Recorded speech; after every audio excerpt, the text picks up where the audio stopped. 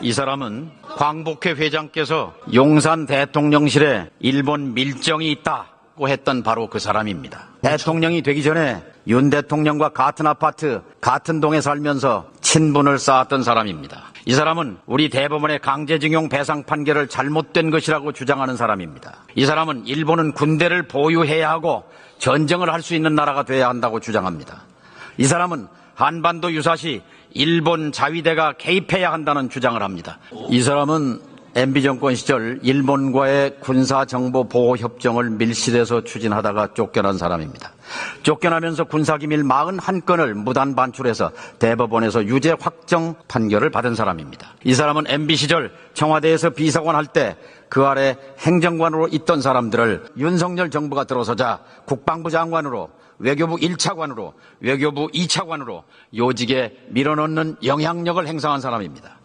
이 사람은 낙가손해상을 수상한 사람입니다.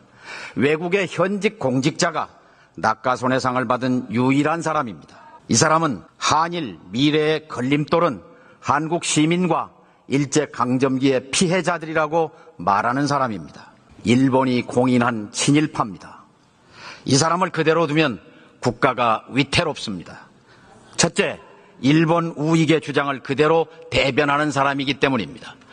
일본 우익이라는 사람들은 식민지 지배가 합법이었다고 우기는 사람들이고 반인도적 범죄 행위, 강제징용, 성노예, 민간인 학살 자체를 부정하는 사람들입니다.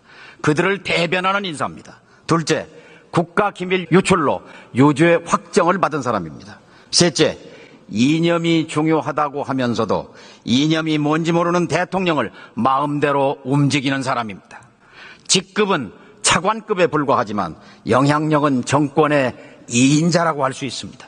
이것만으로 정권이 위험해지고 국가가 위태로워집니다. 이 사람의 박사 논문, 시카고 대학 박사 논문 주제가 자위대 연구입니다. 일본 방위정책 연구입니다.